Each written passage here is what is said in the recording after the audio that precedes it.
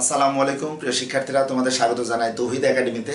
আজকে আমি তোমাদের সামনে উচ্চতর গণিতের নবম, দশম শ্রেণি বা এসএসসি শিক্ষার্থীদের জন্য নবম অধ্যায়, অর্থাৎ সূচক ও লগারিদমের ফাংশনের পরমাণের ফাংশনের আমি ডোমেন, রেঞ্জ ও এই পরমাণ ফাংশনের আমরা লেখচিত্র কীভাবে আঁকবো, এটা নিয়ে তোমাদের সামনে একটু আলোচনা করার চেষ্টা করব। তোমরা জানো যে নাইন পয়েন্ট টু অনুশীলনীতে তিন ধরনের যে ম্যাথ আছে তোমরা যে ম্যাথগুলো নিয়ে একটু চিন্তায় থাকো যে এই ধরনের ম্যাথের আমরা কীভাবে সূচকীয় ফাংশন বা লগারিদম ফাংশন বা পরমাণের ফাংশন আমরা কীভাবে ডোমেন নির্ণয় করব বা রেঞ্জ নির্ণয় করব বা প্র্যাকটিক্যালের জন্য তোমাদের যে লেখচিত্র অঙ্কন করতে হয়, এটি নাইন পয়েন্ট টু কিন্তু খুবই গুরুত্বপূর্ণ ভূমিকা পালন করে। তবে তোমরা ওয়ান পয়েন্ট টু অনুশীলনীতে যে কোনো নর্মালি ফাংশনে কিন্তু ডোমেন নির্ণয় করছ রেঞ্জ নির্ণয় করছ, ওখানে কিন্তু যখন তোমরা এক এক ফাংশন কোনো একটি ফাংশন কখন হয়, সেগুলো কিন্তু আমি আলোচনা করার চেষ্টা করেছি। আজকে আমি চেষ্টা করব তোমাদের অনুশীলনীতে নাইন পয়েন্ট টু অনুশীলনীতে তোমরা যদি দেখো যে এখানে পরম মানের ফাংশন এর ক্ষেত্রে উদাহরণ তিরিশ, বত্রিশ, তেত্রিশ এবং অনুশীলনীতে দেখো বারোর ক থেকে ঘ পর্যন্ত। এই চারটি গাণিতিক সমস্যা সমাধান করার ক্ষেত্রে আমি একটি গাণিতিক সমস্যা এখানে সমাধান করব। সেই ক্ষেত্রে আমি এখানে দেখো লিখেছি এখানে বারোর কয় লিখেছি এফ অফ এক্স সমান পরমান অফ এক্স যখন আমাদের ব্যবধি দিয়ে আছে দেখো minus five less equal x less equal five এখন তোমরা যদি বলো যে, স্যার, আপনি যদি এটা একটু ব্যবধিটা চেঞ্জ করে নেন আচ্ছা ঠিক আছে, আমি এখানে ব্যবধি হয়তো ফোর নিলাম। এখানে ব্যবধি হয়তো আমি ফোর নিলাম। আমার বইয়ের মতো, ছাড়াও আমি একটু ব্যবধি চেঞ্জ করে নিব। সেক্ষেত্রে দেখো, আমাদের এই গাণিতিক সমস্যাটি সমাধান করার ক্ষেত্রে প্রথমত আমাদের মনে রাখতে হবে যে পরম মান কি এবং পরম মানের বৈশিষ্ট্য কি বা পরম মান দিয়ে আমরা যখন একটি ফাংশন এর ডোমেন নির্ণয় করব, তখন কিন্তু এই পরম মান ফাংশনের জন্য আমাদের ডোমেন কি হতে পারে। ওকে, সেগুলো আমাদের ভালো করে জানতে হবে। অর্থাৎ পরমাণের বৈশিষ্ট্য আমাদের এখানে খুবই ভালো করে জানতে হবে। এরপরে আমাদের জানার প্রয়োজন যে আমাদের যে ব্যবধি আছে, তোমাদের এর আগেও কিন্তু যে ক্লাসটি আপলোড করেছিলাম, ওখানে কিন্তু ব্যবধির আলোচনা করেছিলাম, ওখানে খোলা ব্যবধির কথা বলেছিলাম। তোমরা যদি দেখো রিসেন্টলি আমি একটি ভিডিও আপলোড করেছি। এখানে দেখো, এই ব্যবধিটি কি ব্যবধি এটি খোলা ব্যবধি না বদ্ধ ব্যবধি খোলা বদ্ধ ব্যবধি না বদ্ধ খোলা ব্যবধি আমাদের এটি কিন্তু আগে জানতে হবে। তাহলে দুইটি পয়েন্ট আগে তোমাদের জেনে, এই ম্যাথগুলো কিন্তু যদি বেসিক কনসেপ্টটা তোমাদের ভালো থাকে, সেই ক্ষেত্রে কিন্তু এই ম্যাথের সলিউশন কিন্তু অনেক সোজা। কারণ এই ম্যাথগুলো অনেক সময় এমসিকিউ আকারে কিন্তু তোমরা পরীক্ষাতে পাও। অনেকে হয়- হয়তো এর আনসারটা করতে যে হয়তো দ্বিধাদ্বন্দ্বে থাকো যে আনসারটা কি হবে। তাহলে প্রিয় শিক্ষার্থীরা, আমি এখন শুরু করতে পারি যে পরম মানটি কি? আমি যদি এই ম্যাথের আলোচনায় থাকতে চাই, সেই ক্ষেত্রে আমি পরম মানটা কি? এটা আগে যদি আলোচনা করি। তাহলে পরম মানকে আমরা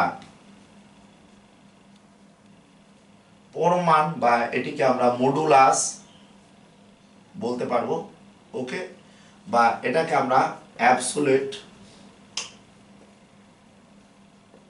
ভ্যালু বলতে পারব ওকে এই যে পরম মানটি কি, আমরা জানি বা তোমাদের অবশ্যই খুবই ভালো করে জানার প্রয়োজন আছে বা জেনে যাবে নবম, দশম শ্রেণীতে বাস্তব সংখ্যা যে বৈশিষ্ট্য। আমরা যদি পরম মানের কথা বলি, যে বাস্তব সংখ্যার আমরা শূন্য ধনাত্মক ঋণাত্মক মান নিয়ে কিন্তু আমরা যে কোনো একটি এক্সের মান আমরা গ্রহণযোগ্য আকারে নিতে পারি। অর্থাৎ আমরা যদি বলি যে একটা এক্সের মান আমি একবার নিলাম শূন্য, আবার এক্সের মান নিলাম দেখো ধনাত্মক একটি মান হয়তো টু নিলাম ওকে আবার একটি এক্সের মান হয়তো ঋণাত্মক মান থ্রি নিলাম। এই যে এক্সের মানগুলো, আমরা যদি বলি এই তিনটি মানই এক্স বিলংস টু কিন্তু দেখো অল রিয়েল নাম্বার অর্থাৎ এক্সের মান হয়তো তোমরা বলতে পারো যে, স্যার, এখানে কি আমরা দশমিক ভগ্নাংশ নিতে পারি? না, অবশ্যই দশমিক ভগ্নাংশ নিতে পারি। তোমরা যদি এবার বলো যে, স্যার এক্সের মান যদি আমরা ওয়ান বাই থ্রি বসাই, বা এক্সের মান যদি মাইনাস ওয়ান বাই থ্রি নিই, বা এক্সের মান যদি পয়েন্ট টু ফাইভ নিই, বা এক্সের মান যদি এমন হতে পারে minus six point two three নেই, প্রতিটি মানই কিন্তু তোমরা জানো যে বাস্তব সংখ্যা অল রিয়েল নাম্বার অর্থাৎ আমরা এই যে এক্সের মান আমরা ধনাত্মক, ঋণাত্মক, অখণ্ড সংখ্যা হতে পারে। এটি দেখো ধনাত্মক, ঋণাত্মক আমাদের যে কোনো বাস্তব সংখ্যা হতে পারে, মূলদ হতে পারে, অমূলদ হতে পারে, যে কোনো মানই হোক না কেন, পরম মানের ক্ষেত্রে আমরা কীভাবে আমরা এটিকে ডিফাইন করব? বা আমাদের এই যে পরম মান, যেটা মডুলাস চিহ্ন আমি এখানে লিখছি মডুলাস এখানে দেখো মডুলাস চিহ্নটি অ্যাকচুয়ালি তোমাদের যদি আমি অন্য কালি দিয়ে যদি লিখে একটু দেখানোর চেষ্টা করি, এটা কিন্তু আমরা মডুলাস চিহ্ন এটি বলব। এরকম আমাদের যে কোনো সংখ্যা দুই পাশে যদি আমরা এরকম দুইটি খাড়া দাগ দিই, তাহলে খাড়া দাগটিকে বলা হবে মডুলাস।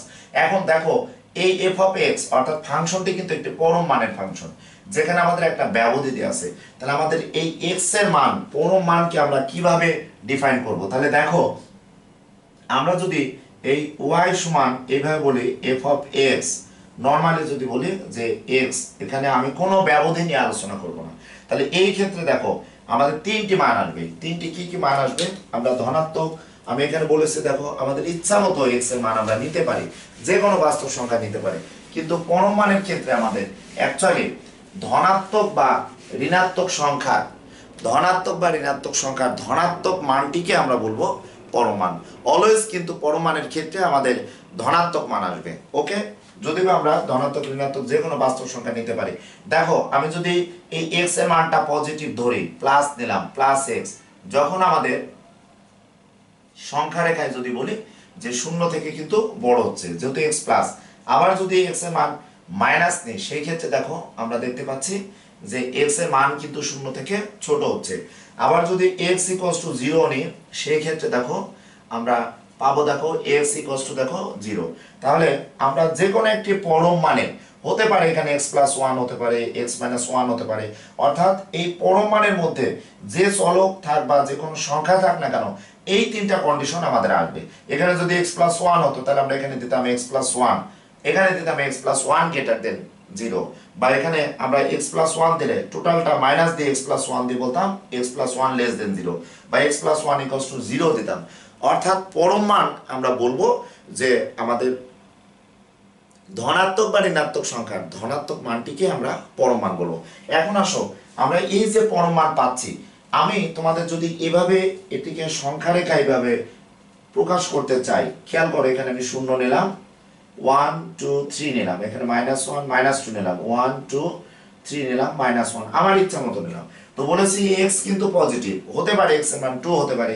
এক্সের মান হয়তো আমি টু নিলাম, খেয়াল করো। এক্স গ্রেটার দেন আমরা জিরো থেকে বড় কিন্তু, এটা তো জিরো পজিশন আমাদের। এরপর দেখো এক্সের মান হয়তো মাইনাস এখানে আমি যদি এমন হতে পারে যে এক্সের মান, আমি মাইনাস নিলাম। লক্ষ্য করো, তাহলে এই মানটি হলো যে সংখ্যা রেখায় এক্সের মান দেখো মাইনাস জিরো থেকে ছোট, অর্থাৎ মাইনাস ওয়ান হয়তো আমি নিলাম। এরপরে এক্সের মান কিন্তু দেখো এখানে শূন্য। শূন্য ঘরে আমি বসিয়ে দিলাম। এখন প্রশ্ন হচ্ছে যে এই যে পরম মানটি, এই পরম মানটি আগে যদি আমাদের জানতে হয় সেই ক্ষেত্রে আমাদের খুব ইম্পর্ট্যান্ট একটি পয়েন্ট জানতে হবে। দেখো, আমাকে বা তোমাদের কোনো একজনকে বলা হলো যে হয়তো রহিমের কাছে কোনো টাকা পয়সা নেই বা রহিম কারোর কাছে কোনো টাকা পয়সা পায় না বা রহিমের কাছে কোনো টাকা নেই। সুতরাং রহিমের রহিমের কাছে কিন্তু শূন্য পরিমাণ টাকা আছে। বাট হয়তো করিমের কাছে দশ টাকা আছে। তাহলে করিমের কাছে যদি আমি বলি যে এখানে এটা হয়তো করিমের টাকাটা। এখানে দেখো, এটা করিমের টাকা কিন্তু দশ টাকা আছে। তাহলে আমরা দেখতে পাচ্ছি, শূন্য থেকে বড় পজিটিভ মান। আর রহিমের কাছে কিন্তু কোনো টাকা নেই। তার মানে এক্সের মান দেখো, শূন্য সমান শূন্য হলো। এখন, আর এখানে আমরা যদি বলি যে রহিমের কাছে এখানে শূন্য টাকা আছে, করিমের কাছে এখানে শূন্য থেকে বেশি টাকা আছে। আর এখানে জুবাইয়ের কাছে হয়তো দেখা যাচ্ছে কেউ না কেউ একটা পরিমাণ টাকা পায়। তাহলে সেই ক্ষেত্রে দেখো, আমরা যদি বলি যে এক্সের মান যদি ধনাত্মক হয়, শূন্য থেকে বড় হয়, আর এক্সের মান যদি সমান হয়, তাহলে এই যে এক্সের মান আমরা দেখতে পাচ্ছি, দেখো, ধনাত্মক মান পাচ্ছি, আর এক্সের মান কিন্তু আমরা কি পাচ্ছি বলতো? শূন্য পাচ্ছি। তাহলে আমরা এই দুইটি মানকে আমরা কীভাবে ডিফাইন করব? অর্থাৎ আমরা যদি বলি এক্স একবার দেখো গেটার আমাদের জিরো আবার এক্স ইকুয়াল জিরো এটাকে আমরা বলতে পারব, ভাষাগতভাবে বলতে পারব এক্স অঋণাত্মক। আমরা এটা বলব অ ঋণাত্মক হলে। এখন, আমাদের এমন হতে পারে যে এখানে এক্সের স্থলে x প্লাস ওয়ান থাকতে পারে। সো এখানে প্লাস ওয়ান আমরা দিব। এই যে কন্ডিশনটা আমাদের মনে রাখতে হবে যে x গেটার ইকুয়াল জিরো অর্থাৎ গেটার বললে কিন্তু সরাসরি আমাদের ধনাত্মক মান হতো। কিন্তু যখনই ইকুয়াল বলা হচ্ছে গেটার ইকুয়াল তখন এটিকে আমরা বলব অঋণাত্মক সংখ্যা, অর্থাৎ নন পজিটিভ আমরা নাম্বার বলতে পারব এখানে। পজিটিভ নাম্বার সরাসরি বলতে পারব না। তাহলে এই দুইটা কন্ডিশনকে আমরা এভাবে প্রকাশ করতে পারি। আর এখানে দেখো এক্স লেস দেন আমাদের কি আছে? জিরো এটাকে সরাসরি আমরা বলব, দেখো এক্স ঋণাত্মক হলে এক্স কিন্তু সরাসরি আমরা দেখতে পাচ্ছি ঋণাত্মক হলে। এক্সের মান দেখো, এখানে কিন্তু ঋণাত্মক সরাসরি হচ্ছে। ওকে সুতরাং আমরা যে কোনো একটি সংখ্যার পরম মানকে আমরা এই যে ভেঙে দেখাচ্ছি, এই ভেঙে না দেখিয়ে আমরা এটাকে এভাবে লিখতে পারব। তোমরা একটু খেয়াল করো, আমরা এই পরম মানের ফাংশনটিকে আমরা এভাবে লিখতে পারব। দেখো, y সমান f অফ x সমান x পরম মান, এটাকে আমরা এভাবে লিখতে পারব। দেখো, x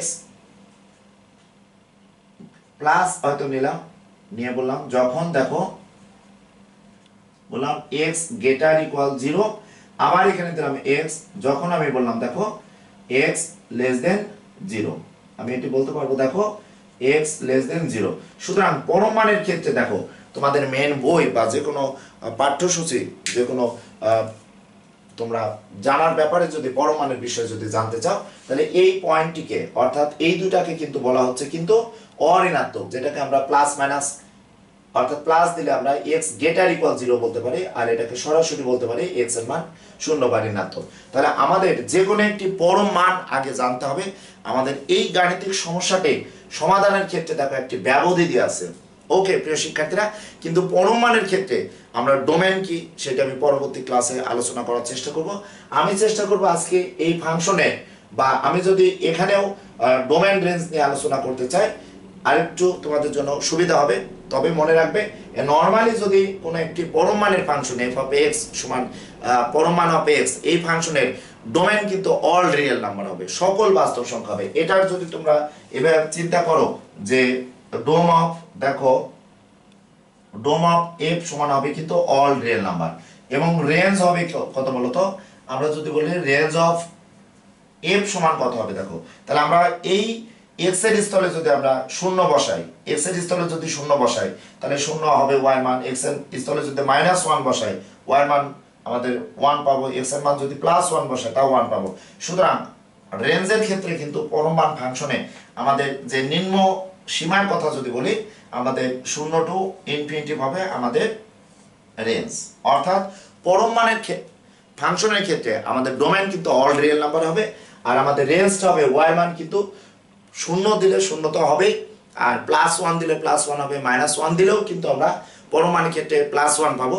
সুতরাং আমাদের রেঞ্জ কিন্তু মনে রাখতে হবে জিরো টু ইনফিনিটি পাবে। অর্থাৎ পরমাণ ফাংশনের ক্ষেত্রে ডোমেন যদি কোনো ব্যবধি দিয়ে যদি ম্যাথ না দেওয়া থাকে, তাহলে আমাদের ডোমেন হবে অল রিয়েল নাম্বার বা ব্যবধি দেওয়া থাকলেও আমরা অল রিয়েল নাম্বার পাবো, কিন্তু ব্যবধিটা উল্লেখ থাকবে। বাট সরাসরি যদি এমন কোনো ফাংশন থাকে, সেই ফাংশনে রেঞ্জ হবে কিন্তু দেখো জিরো টু ইনফিনিটিভ ধনাত্মক দিকে চলবে। ওকে প্রিয় শিক্ষার্থীরা, আমি আজকে তোমাদের সামনে।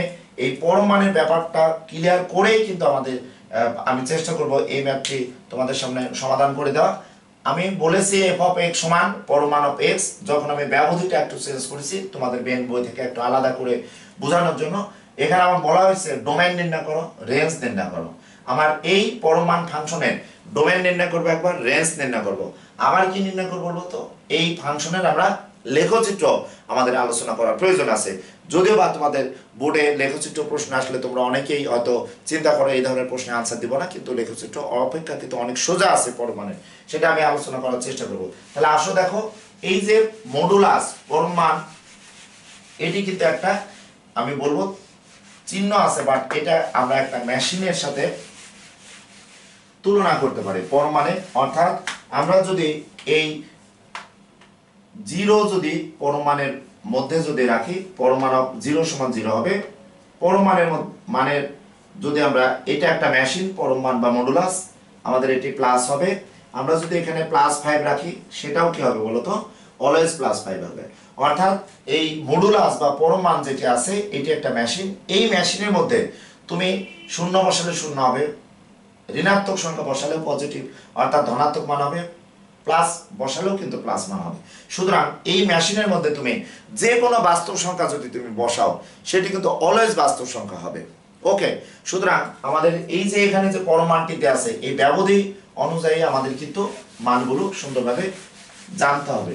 ওকে তাহলে লক্ষ্য করো, আমার এই ব্যবধিটা কি? এই ব্যবধিটা একটু তোমাদের এখন বোঝানোর চেষ্টা করব, তাহলে তোমাদের জন্য এই ম্যাথটি কিন্তু খুব দ্রুত আমাদের ক্যালকুলেশন হয়ে যাবে। তাহলে ব্যবধি ব্যবধি দেখো, এখানে আমাদের বদ্ধ ব্যবধি আছে, যেহেতু এটা বদ্ধ ব্যবধি দিয়েই আমি একটু আলোচনা করার চেষ্টা করি। বদ্ধ ব্যবধি দেখো, ওকে, যেটাকে আমরা বলছি দেখো ক্লোজড ইন্টারভাল ক্লোজ আমি বলব ইন্টারভাল ওকে তাহলে আমাদের এই বদ্ধ ব্যবধিটা আগে সুন্দরভাবে জানতে হবে। বদ্ধ ব্যবধি যদি জানি সেক্ষেত্রে আমাদের যে ম্যাথটি আছে, এই ম্যাথটির সমাধান কিন্তু খুব সুন্দরভাবে দিতে পারব। ওকে, প্রিয় শিক্ষার্থীরা, তাহলে বদ্ধ ব্যবধিটা কি দেখো? আমাদের যে বদ্ধ ব্যবধি, এখানে আছে দেখো মাইনাস ফোর এক্সের মান, আমাদের মাইনাস ফোর এর সমান অথবা মাইনাস ফোর থেকে আমরা বড় দেখতে পাচ্ছি, বা এক্সের মান দেখো প্লাস ফোর এর সমান অথবা প্লাস ফোর থেকে ছোট। তাহলে এখানে বদ্ধ ব্যবধির ক্ষেত্রে আমরা জানি যে এ আর বি যদি দুইটা সংখ্যা হয়, তাহলে আমরা বদ্ধ ব্যবধির ক্ষেত্রে এবার কিন্তু থার্ড ব্র্যাকেট দিতে পারব। যেখানে আমি এর মান হয়তো ধরে নিলাম, এখানে আমি এর মান হয়তো আমি টু ধরে নিলাম বি এর মান হয়তো ফাইভ ধরে নিলাম। খেয়াল করো। তাহলে আমরা এই বদ্ধ ব্যবধিকে দেখো, উভয় পক্ষে কিন্তু থার্ড ব্র্যাকেট দ্বারা ক্লোজ করতে হবে। অর্থাৎ এটি বন্ধ হয়ে গেছে। এটাকে আমরা এভাবে লিখতে পারব, দেখো, যে এ আর বি যদি উভয় বদ্ধ হয়, তাহলে সেট গঠন পদ্ধতিতে লিখতে পারব, দেখো x such that x belongs to দেখো অল রিয়েল নাম্বার এবং আমরা লিখতে পারব, দেখো এ কিন্তু বলেছি টু তাহলে এ আমাদের বদ্ধ হয়ে যাচ্ছে। বদ্ধ ব্যবধি হলেই কিন্তু লেস উপায় হবে। তাহলে এক্স এখানে আমি মান আমরা পাবো যে x such that x belongs to R okay এবং এখানে আমি বদ্ধ ব্যবধির ক্ষেত্রে এটাকে এবার লিখতে পারব। যেটা একটি বদ্ধ ব্যবধি। অর্থাৎ এ এবং বি যে মান থাকবে, এই মানটি তো অবশ্যই হবে, তাছাড়া আমাদের এর মান এক্সের সমান অথবা এক্স থেকে বড়।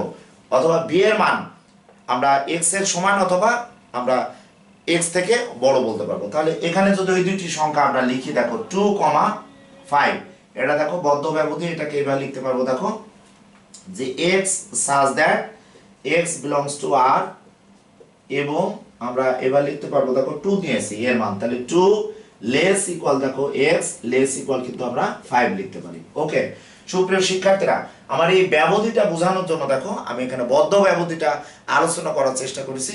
আমাদের এই মানটি, তাহলে আমাদের মাইনাস ফোর থেকে যদি প্লাস ফোর হয়, তাহলে আমাদের এখানে কি হতে পারে বলতো? বদ্ধ ব্যবধিটা হতে পারে মাইনাস ফোর তাহলে আমি এখানে এর মান আমি ধরে নিতে পারি। আমার এই ব্যবধিটা একটু আলোচনা করার জন্য মাইনাস ফোর এ যেহেতু বি থেকে ছোট আর এটা আমি নেব, দেখো প্লাস ফোর তাহলে আমি এটা লিখতে পারি, দেখো মাইনাস ফোর থেকে আমি এটার সাথে কম্পেয়ার করলে আমরা কি পাবো বলতো প্লাস ফোর আমরা লিখতে পারব। এটাকে আমরা লিখতে পারব, দেখো x such that x belongs to দেখো অল রিয়েল নাম্বার এবং minus four less equal x less equal দেখো ফোর আমরা লিখতে পারব।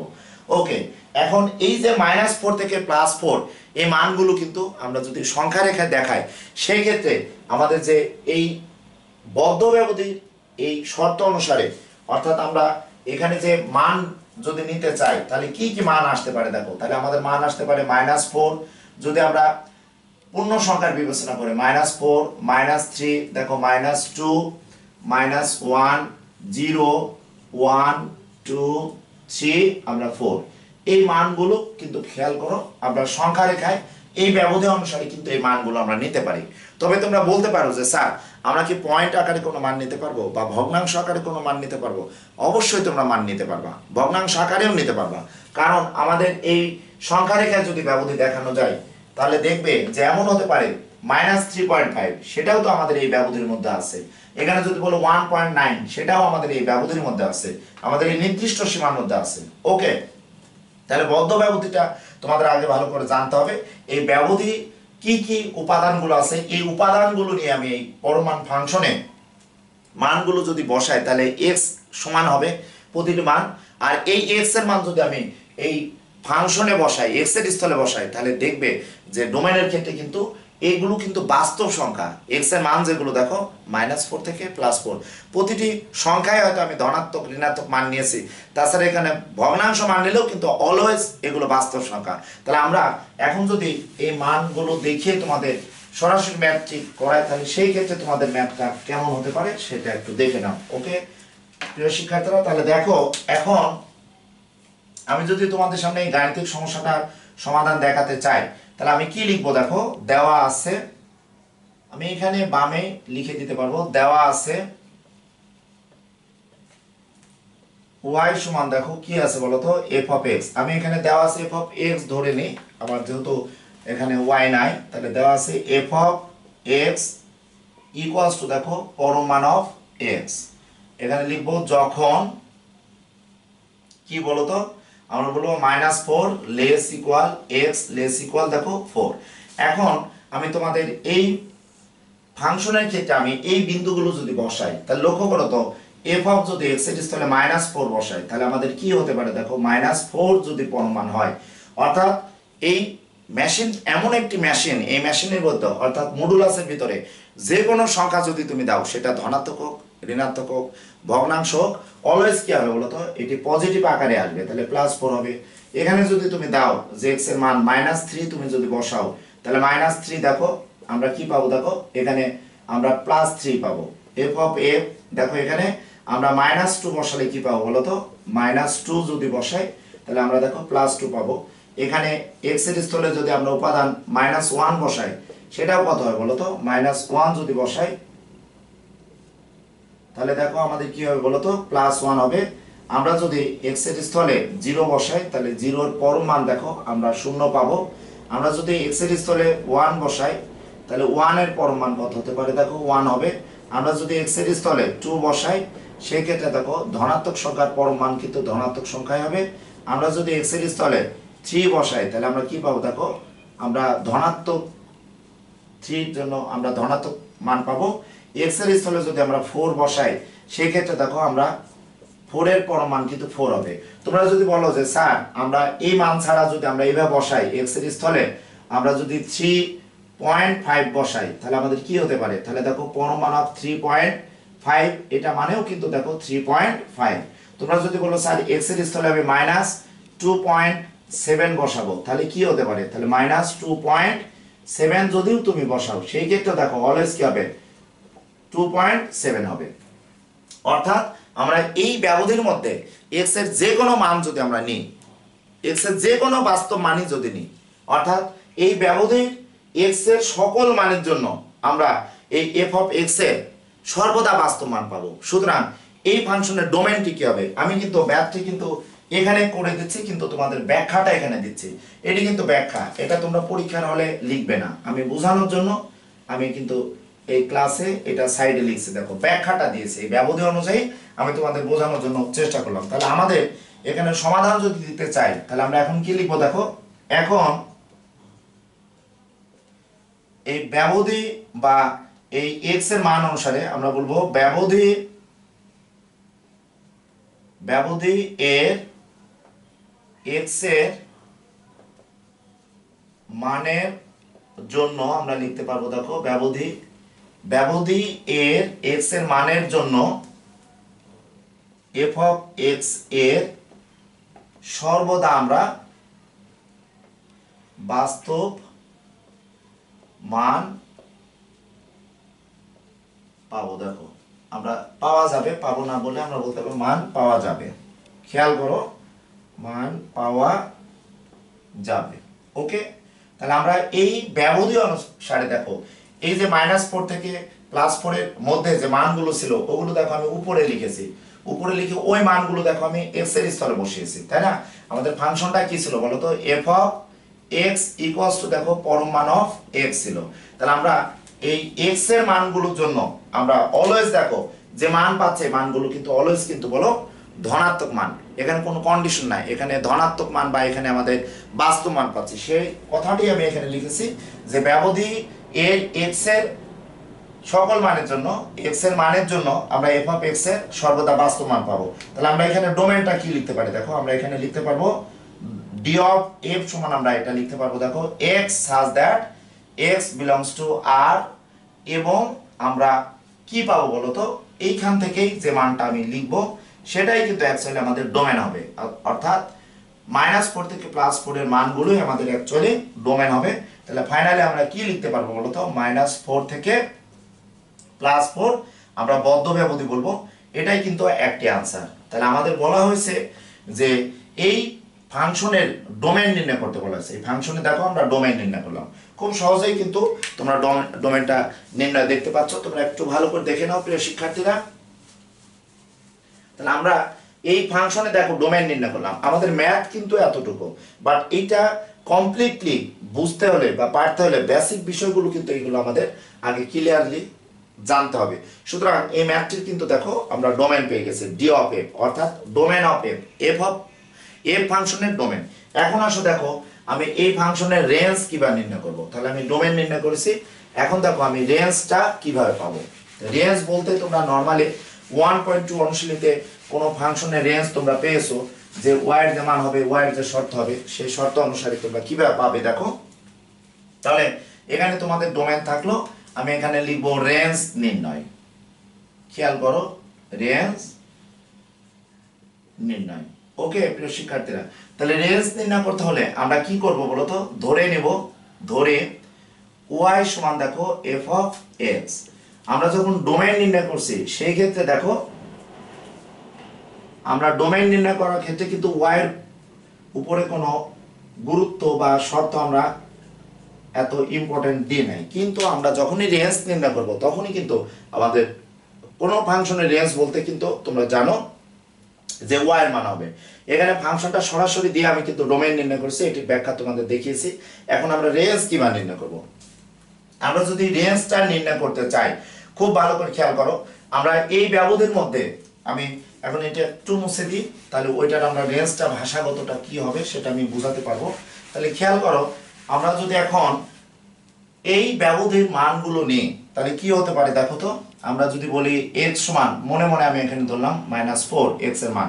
তাহলে ওয়াই সমান কত হবে দেখো তো? ওয়াই সমান দেখো এফ অফ এক্স সমান আমাদের যে মানটি দেওয়া আছে পরম মান অফ কত বলো তো এক্স এইটি কিন্তু আমি ধরে নিয়েছিলাম। তাহলে এক্সের স্থলে কি বসাবো দেখো তো? এক্সের স্থলে আমি বসাবো একটু খেয়াল করো এক্সের স্থলে আমি বসাবো মাইনাস ফোর বসাবো। তাহলে মাইনাস ফোর বসালে দেখো ওয়াই এর মান কত হবে বলো তো? প্লাস ফোর হবে।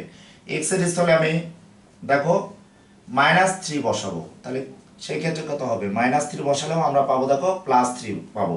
ওয়াই সমান কত হয় বলো তো? এক্সের স্থলে মাইনাস টু বসিয়ে আমরা দেখি কত হতে পারে? প্লাস টু ওয়াই সমান দেখো এক্সের স্থলে আমরা মাইনাস ওয়ান বসালে আমরা কি পাই? মাইনাস ওয়ান পরম মান, তাহলে আমরা পাবো ওয়ান আমরা ওয়াই সমান দেখো, এই এক্সের স্থলে আমরা শূন্য বসাবো। তাহলে শূন্য যদি বসাই, তো পরম মান অফ শূন্য সমান কিন্তু শূন্যই হয়। ওকে প্রিয় শিক্ষার্থীরা, তাহলে আমি যে মাইনাস ফোর থেকে আমি শূন্য পর্যন্ত মানগুলো বসালাম। তাহলে ওয়াই এর মান দেখো, কত আসছে বলো তো? আমরা এখান থেকে দেখতে পাচ্ছি ওয়াই এর মান শূন্য ওয়ান টু থ্রি ফোর পাচ্ছি। এটি তো এক্সের মান ছিল। তাহলে আমি যদি ওয়াই এর মান বলি ওয়াই এর মান কত পাচ্ছে একটু লিখে নিই। দেখো এর মান পাচ্ছে, দেখো, শূন্য পাচ্ছি ওয়ান পাচ্ছি টু থ্রি ফোর পেলাম। আমরা এই নেগেটিভ মানের জন্য ওয়াই মান পেলাম এখন যদি এখানে আমি আবার পজিটিভ মান দেখাতে চাই, তাহলে ওয়াই সমান দেখো এফ আমরা জিরো বসাই এক্সের মান, তাহলে আমরা জিরো যদি বসাই এক্সের স্থলে তাহলে জিরো পাচ্ছি। আমরা যদি ওয়াই এর স্থলে প্লাস ওয়ান বসাই, তাহলে কি পাবো? দেখো প্লাস ওয়ান যদি বসাই, তাহলে আমরা ওয়ান পাবো। আমরা এক্সের স্থলে যদি প্লাস টু বসাই, তাহলে আমরা কি বসাবো? দেখো তো প্লাস টু মান সমান আমাদের টু হবে। ওয়াই দেখো এক্সের স্থলে আমরা প্লাস থ্রি বসাবো। প্লাস থ্রি বসালে কত হয় বলো তো? আমরা প্লাস থ্রি পাবো এক্সের মান এর সাপেক্ষ ওয়াই মান। আবার এক্সের স্থলে আমরা প্লাস ফোর বসাবো। তাহলে আমরা প্লাস ফোর যদি বসাই পরম মান দেখো আমাদের কত হচ্ছে বলো তো? শূন্য থেকে ফোর হচ্ছে। প্রিয় শিক্ষার্থীরা, এই একটি ম্যাথ নিয়ে কিন্তু হয়তো তোমরা বলতে পারো, এত আলোচনা করছেন। এগুলো কিন্তু ব্যাখ্যা।